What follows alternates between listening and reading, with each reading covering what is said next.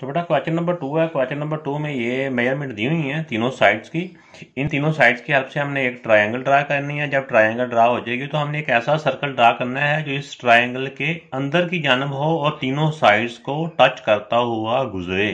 तो ऐसे सर्कल को क्या कहते हैं? इनस्क्राइब सर्कल तो इस सर्कल का जो सेंटर होता है वो भी इनस्क्राइब सेंटर और इस तरह इसका रेडियस भी जो होता है इनस्क्राइब रेडियस कहलाता है। तो पहले हम इसका कोई एक साइड ड्रा कर लेता हूँ, मैं A B five centimetre draw कर लेता हूँ। तो इसके बाद बेटा ए बी ड्रा हो चुकी है। अब बी सी और सी ए दोनों थ्री थ्री सेंटीमीटर है। तो हम यहाँ पे रख के भी बी पे भी रख के एक थ्री सेंटीमीटर की आर्क ड्रा कर लेंगे। और इसी तरह ए पे भी रख के थ्री सेंटीमीटर की आर्क ड्रा कर लेंगे, जो पहली आर्क को टच करते हुए, उसको क्रॉस करते हुए गुजरेगी। जैसे मैंने बताया था कि पहले इसकी जो होती हैं एक्स्ट्रा जो आर्क्स होती हैं, उसको ड्रा कर लें, ताकि नीट रह जाए। अगर नहीं भी अरेज करेंगे, फिर भी कोई बात नहीं है।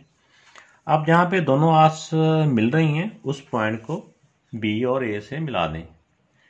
तो ये बेटा पॉइंट सी को मिला दिए। ये दोनों थ्री थ्री सेंटीमीटर थे।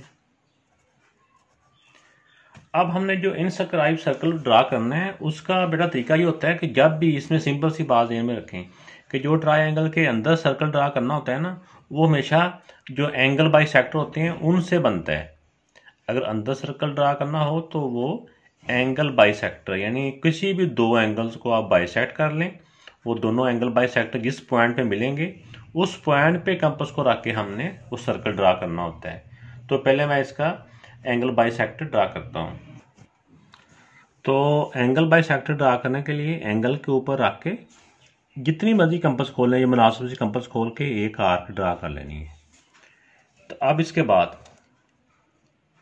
इसके जहाँ पे आर्क स्टार्ट हो रही है, वहाँ पे रख के एक आर्क, और फिर जहाँ पे ये एंगल की आर्क खत्म हो रही है, वहाँ पे रख के दूसरी आर्क ड्रा करेंगे तो कंपस को आप जितना मर्ज़ी खोल लें। एक आर्क, फिर ये दूसरी आर्क पे रखना है, ये जो एंगल वाली आर्क है इसके ऊपर रख के दूसरा। ये दोनों एक पॉइंट पे गुजर रही हैं। उसको ज़रा ध्यान से आपने निशान लगा लेना है कि कहाँ पे है वो। अभी एक एंगल इसकी लाइन प्ले ड्रा कर लेते हैं हम।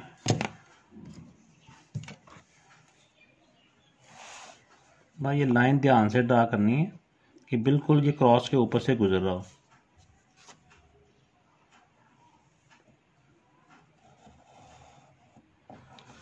ये ज़्यादा लंबी लाइन ड्रा करने की ज़रूरत नहीं है, क्योंकि जो सेंटर है, जो सर्कल है, वो इस ट्राइंगल के अंदर अंदर ही ड्रा होना है। तो यहाँ तक ही काफ़ी है। अब एक एक और एंगल बाइसेक्टर ड्रा कर लेते हैं, जौन सा भी आप ड्रा करें।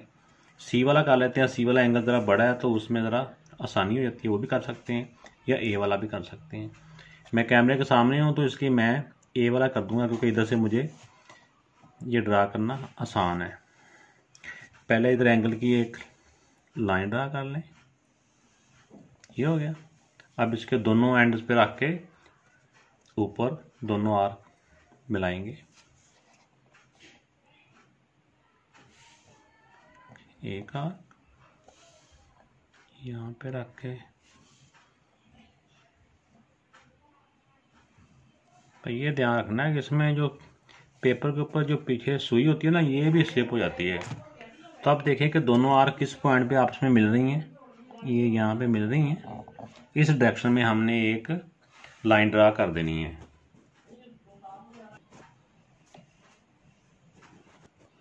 तो ये बेटा मैंने ए ए डैश भी जो एंगल बाई सेक्टर ड्रा कर दिया है। पहले बी बी डैश वाला एंगल बाई सेक्टर ड्रा किया था। दोनों एंगल बाई सेक्टर ने एक दूसरे को पॉइंट ओ के ऊपर कट किया। अब पॉइंट ओ के ऊपर कंपस को बेटा हमने रख के एक सूटेबल सी आर्क ड्रा करनी है, जो कि तीनों साइड्स को टच करते हुए गुजरे।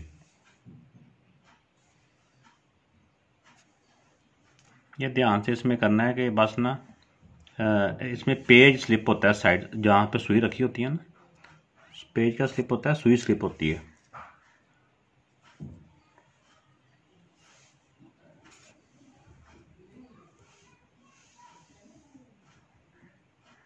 मैं घुमाता हूँ तो पीछे से सुई हमसे ज़्यादा जल्दी में है।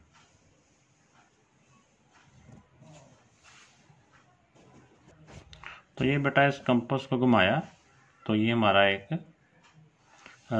इनस्क्राइब सर्कल ड्रा हो चुका है। तो अब देखें, ये जो सर्कल है, ये तीनों साइड्स को टच करता हुआ गुजरा है, और इसमें अब ये है कि इसका रेडियस फाइंड करना है। तो जितनी हमने कंपस खोली हुई थी, उस कंपस को रखें ज़ीरो पे, और एक तरफ़ इस तरह इस कंपस से अब हम मेयर कर सकते हैं कि हमारा ये रेडियस इसका कितना है।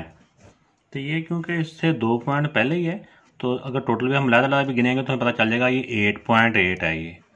तो इसका रेडियस हो जाएगा बेटा point eight